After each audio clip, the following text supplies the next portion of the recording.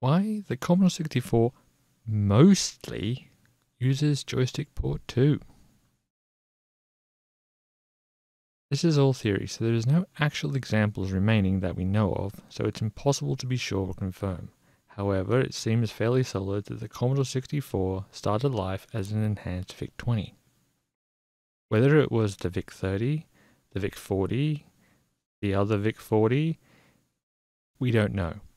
It stands to reason, though at some point, what becomes the 64 had two VIA chips on its board just as the VIC-20 does. If we look at the VIC-20 motherboard and the C64 motherboard, we can see the top left has the same layout.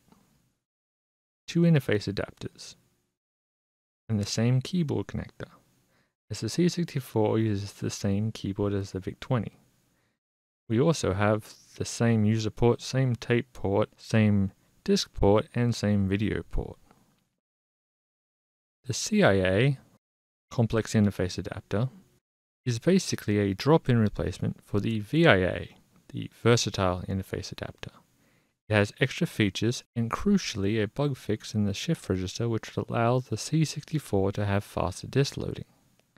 Sadly this didn't work out and we had to wait to the C128 to get it, although the C64 is 100% capable of doing it. Now a lot of the pins are the same. The voltage rails, the register select lines, the reset line, the data line, the PHY clock, the read write, the IRQ pin, and crucially to this quest, port A and port B pins are in the same order. However, there is something odd in the chip's registers. Note that the VIA has register 0 as port B and register 1 as port A. The odd thing is, the ports are 100% arbitrary, and there is no reason why you couldn't just take a rubber and rub the A and B out and swap them. This is kind of what they did on the CIA. Note that register 0 is now port A and register 1 is now port B, which makes more sense. However, they kept the pins A and B the same, so rather than just swap the names, they also had to swap the internal pin layout. The C64 motherboard connects port 1 to port B and port 2 to port A, which sounds like madness. However, if we have VIAs, which is my hypothesis, that means control port 1 would be on memory address DC00 and control port 2 would be on DC01, which in a roundabout way makes sense. But then during development, somebody says, why don't we use these new CIA chips? It has a bug fix, more features, and we can get faster disk loading. Somebody looks at the pin out and the board dev team see the pins match up and they just add in the new lines and drop them in. To swap the controller ports over would probably be a massive board rework. Port A is still port A on the pins, so nothing to do, right? Now, you could just swap the names of the ports as written on the case. So 2 is up front and 1 is at the back. But marketing may not liked that idea. See the video of Bil Herd talking about how they changed this the 16 on the plus 4 from control port 0 and 1 to 1 and 2. Given the first 64 had text printed on a metal plate, it wouldn't have been hard to do or expensive to do. But this has another knock-on effect. The keyboard. The way the C64 and VIC-20 reach the keyboard, as they are the same keyboard, is by scanning an 8x8 grid. First just set all the port lines to high, then set one to low and check to see if anything on the perpendicular line is low. Best way to think of electricity is like water. So imagine that each of these lines are canals, and when we pull them high, we pour in a lot of water, so the water level rises.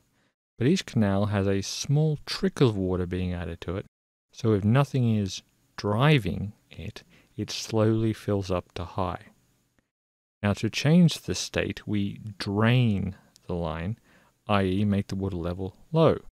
Draining is easier than filling. Now on the Commodore 64, the kernel puts a value out on port B and checks for the corresponding value on port A, which sounds backwards.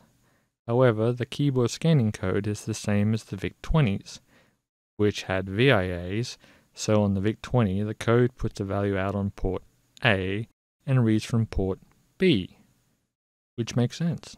So here, since the X is depressed, PA2 goes low. Now, on the C64, the joysticks are attached to the same CIA as the keyboard. On the VIC-20, it was attached to the other VIA, the same as the user port. So the joystick worked the same way as it does on the PET. Joysticks don't need to read a value from the CIA first, they just connect a line to ground, i.e. drain the line. So if the C64 is scanning the keyboard and you have a joystick position held, say up, we now have a condition where the CIA is trying to fill the line to get it high, and the joystick is draining the line. The CIA is not very good at filling, and the ground is the best at draining, so the CIA loses. This has two problems. One, the CIA is going to keep trying to fill the line with more and more electrons, more than it is designed to. This wears it out, and thus slowly damages the CIA. Second problem is the CIA can't tell the difference between the first and last columns. So while it thinks it's scanning the last column, if you have a key in the first row you depressed, it will read the key as being pressed in all of the columns. So if you use joyport 2, this issue is mostly avoided, as the keyboard scan routine uses port B. So you only get a fight when you have a key depressed while you are holding a joystick direction or fire.